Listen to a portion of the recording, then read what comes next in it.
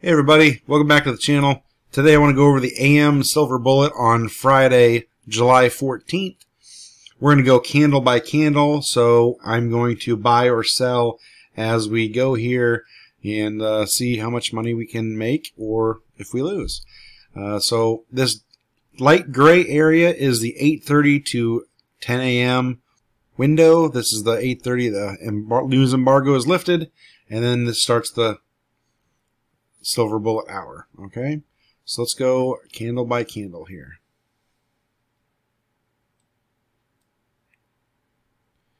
Okay, and so I wanted to show you this is a big candle right here.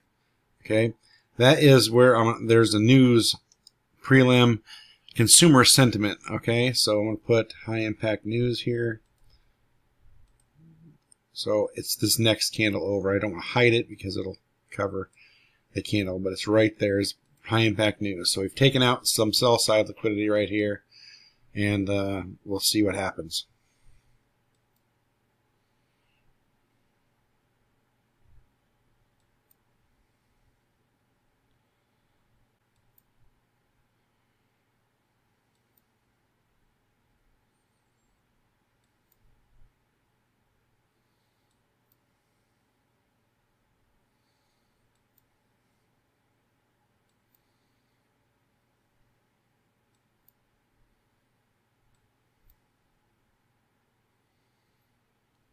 Some relatively equal highs right there.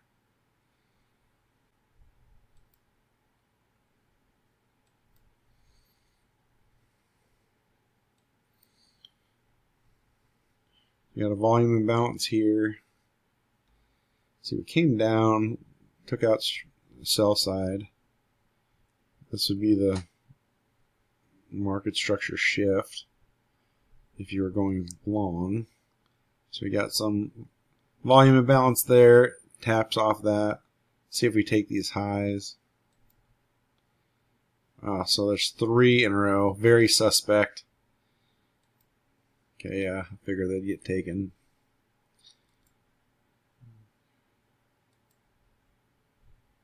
Okay. So obviously, buy side's been taken now because you've got buy side liquidity's been taken right here.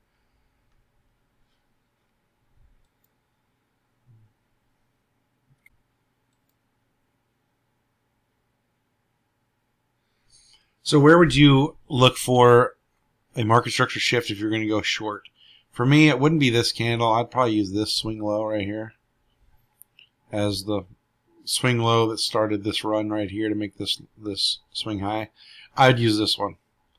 So I wouldn't be looking at these. I'd need it to come down here.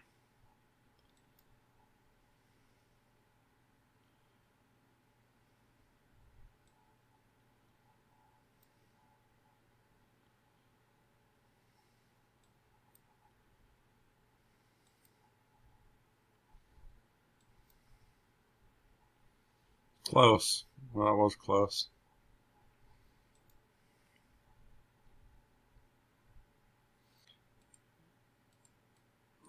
That fair value gap right there, it hit it hit into that. So if you used anything else for a market structure shift, like if you used this, you could have no, no, you wouldn't have got into this one right here, but you could have gotten into this trade right here and go short and targeting down here how to use that structure. But like I said, for me, my my swing low was this would be the market structure shift. So this is a very aggressive entry without a market structure shift for me. You can use something different, but for me, it'd be right here. So I wouldn't have traded that. I'm just marking it to show you what it was there. All right, so that broke the market structure right there, market structure shift. Okay, now if it comes back into this, I'm taking a trade. Okay, but it does leave a fair value gap right here.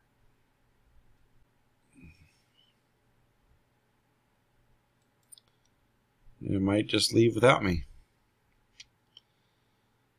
Okay, we got a bunch of sell side down here, so obviously this just took it and it's just right there. So sell side's right below this wick right here.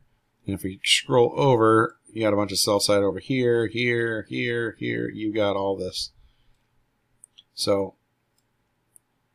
I just need a fair value gap here, something to something to come back up to get into. Well, there you go. That's nice.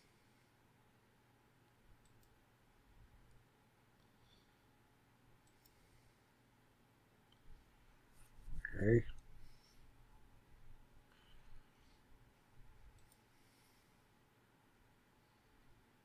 Okay, so down up close candles when we're bearish. That's an order block right there. Order block. So if price comes up into that or to that, I'm going to take a trade. Let's see what happens here. Ooh, you see this little fair value gap right here.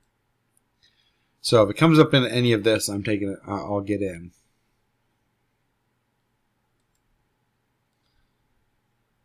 Okay, so it would have got me in here. But on TradingView, if I get in now, it's going to get me in right here. So getting in here is way too far. So I'm gonna I'm gonna hit the replay button and I'm gonna go back to this candle and I'm gonna get in right here because that's where it closed, which is close enough.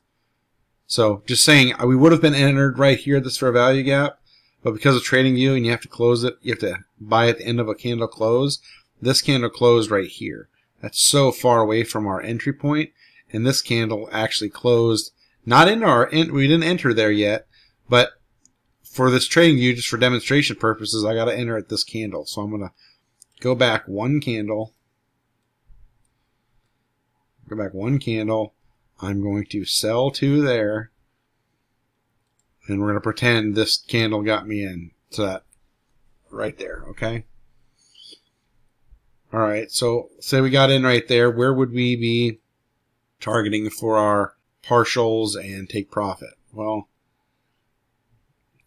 you're getting in there. I take partials right in here, about 60%, 60-ish percent. And then draw on liquidity, I'd take here. And if you want to leave a runner, go to the uh, midnight opening price, which is this blue one, blue dashed line.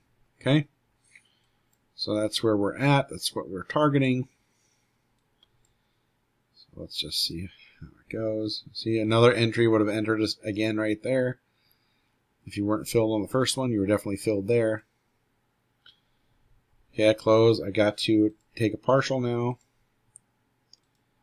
Right there, because we said we'd take a partial. And Alright, so when I take a partial, my stop, I always bring my move my stop up to one tick below below break even. So that's where my trailing stop is right there. Actually, that's where I got in. So I'd go right here. All right, so if it comes up there, then, you know, I'm out.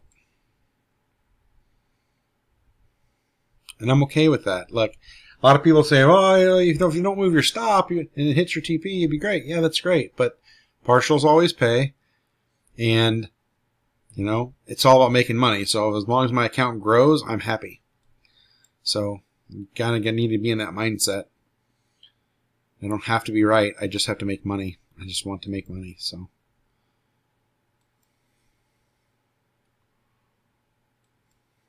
Okay. Now it came down here and stopped. I'm moving my stop to above this one. Right now I'm just one tick above where we started. Okay, broke us out. We're, we're done. Right there. see how the rest of the, played out.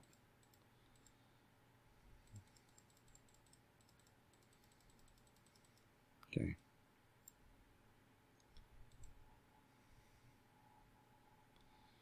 All right, so let's recap here. We had high impact news at 10 o'clock. It was a prelim consumer sentiment at 10 a.m. So that came out and we, you know, ran up, took buy side, went down, took sell side and stopped, right?